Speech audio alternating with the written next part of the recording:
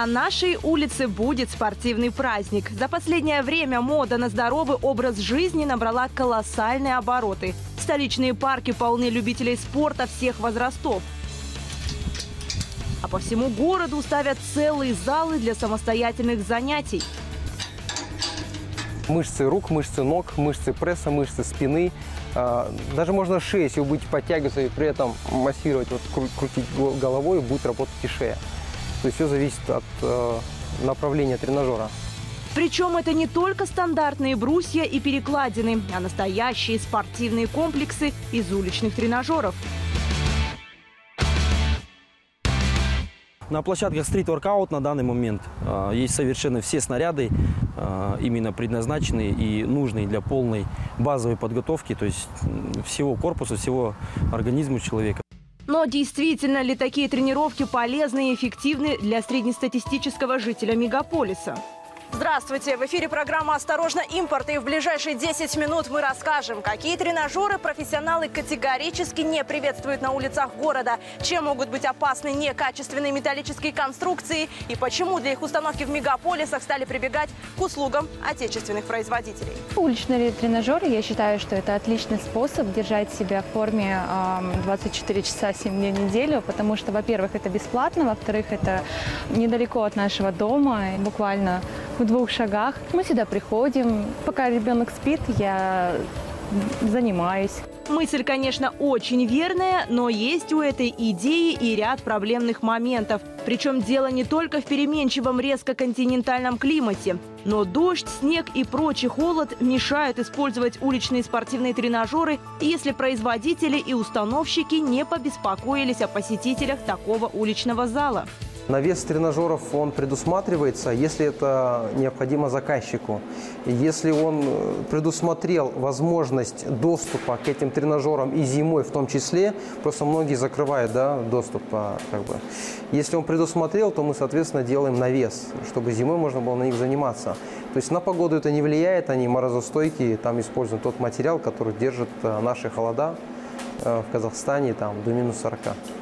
К сожалению, уличные тренажеры не всегда отвечают базовым стандартам безопасности и качества. А это значит, что такие занятия не только принесут никакой пользы, но и могут причинить существенный вред. И первый факт в том, что не каждый новоявленный уличный спортсмен знает правила использования таких тренажеров. Поэтому, запинаясь на них вместо пользы для здоровья, рискует получить травму.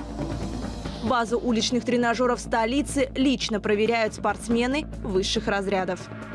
Данные площадки были проверены не раз как профессиональными атлетами, так и тренерами международного класса, потому что как только в Казахстане началось развитие стрит-воркаут, в 2013 году а, Казахстан провел первый в мире чемпионат мира на олимпийском уровне. А, Сюда в Астану было приглашено 75 стран мира.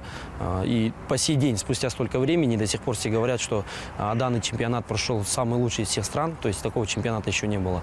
И, соответственно, они пробовали наши площадки, то есть проверяли их на качество, на, на безопасность, как и в зале, как и на улицах. То есть э, все единогласно э, сказали, что действительно в Казахстане э, как и встречают хорошо, как дома, так и э, спортсмены хорошо подготовлены и качественные площадки, то есть установлены.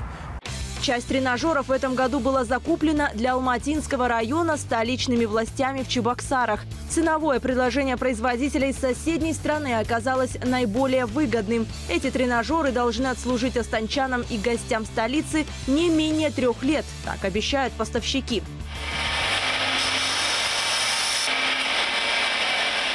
В нашей стране тоже есть заводы по выпуску спортивного оборудования. В Караганде и Алматы, которые своим спортивным ассортиментом радуют не только казахстанцев. Пользуется это спросом наша продукция не только в Казахстане, но и в России, потому что уже много продукции своей мы отправили в Россию.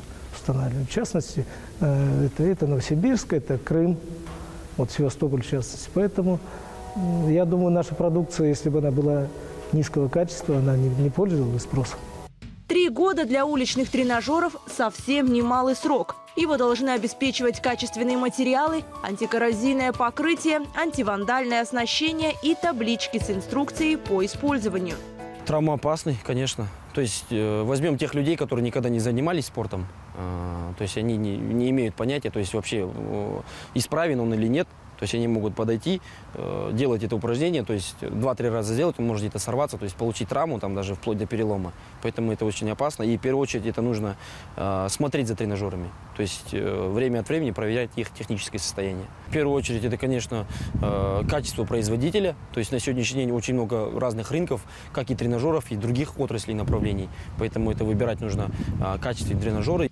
Качество уличных тренажеров обязательно подтверждается специальными документами. В вопросе безопасности, а интерес такие конструкции вызывают в первую очередь детей, градоначальники ориентируются на сертификаты соответствия. Проверка обычно затрагивает даже производственные площадки. Использование некачественного сырья, в частности хрупкого или вторичного металла, может привести к нежелательным последствиям. В 2016 году мы прошли э, ну, сертификацию на соответствие ГОСТу э, по оборудованию детских игровых площадок. Э, поэтому все нормы СНИПы предусматриваются при производстве. А что касается нас лично, как турник KZ, как бы мы ну, стремимся к идеалу. Если изготавливаем любое оборудование хоть для дома, хоть для улиц, да, пусть оно будет вандалостойкое, пусть оно будет для личного использования, все-таки используем качественную сталь, а, во-первых, да, а, собираем его аргонной сваркой. Толщина металла, конечно, тоже влияет на долговечность а, данного тренажера в использовании. Сверху покрываем резиновой краской, которая также ну, атмосферостойкая и амортизирует удары ногами, руками, ну и стирание. Гарантия на алматинские тренажеры при статической нагрузке в 120 килограммов производитель дает на два года. Динамическая нагрузка, которую выдерживают снаряды, 350 килограммов. При этом каждый тренажер изготавливается под заказ. Дело не в ожидании клиента, просто такая технология. Изучить не только параметры заказа по весовым категориям, группам мышц, погодным условиям. Учитываются даже особенности грунта и проходимость спортивной площадки.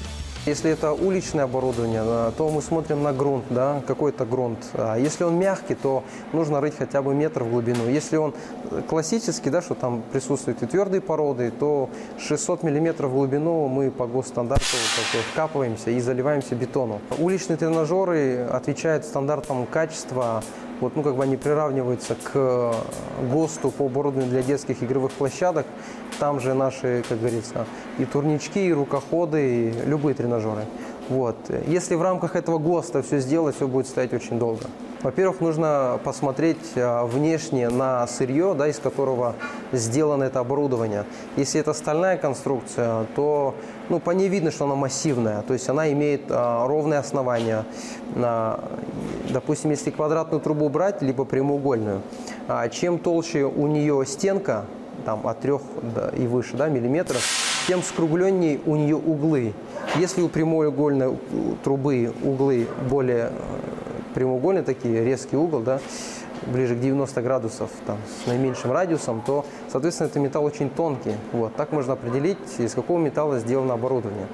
Фитнес без абонемента. В этом деле простому обывателю разобраться на первый взгляд сложно. Но устанавливать в городах муниципальные спортплощадки без всяких необходимых проверок не будет никто. Поэтому, не забывая об элементарных правилах безопасности, попробовать стоит. Это тренажеры хорошие как для пенсионеров, как и для жителей, но мое мнение, что этим тренажерам нужно делать обязательно ограждение, так как а, они установлены в парках, во дворах, то есть там, где очень много детей. Так как это движущие такие тренажеры, то есть технически они полностью работают, прорабатываются, это в первую очередь травмоопасно для детей. Поэтому они могут там где-то нога застрянуть или защемить руки. И еще один момент – на таких тренажерах главное не переусердствовать, ведь траектория движения и длина рычагов универсальна и подходит не всем. Высота сидений в них тоже редко регулируется. При использовании большого рабочего веса тренировка с таким оборудованием грозит походом в кабинет травматолога. Просто знайте. Большинство тренажеров остаются на площадках уже просто по сложившейся традиции, в то время как современная наука о тренинге давно отказалась от многих из них работая в первую очередь собственным весом, развивая все группы мышц.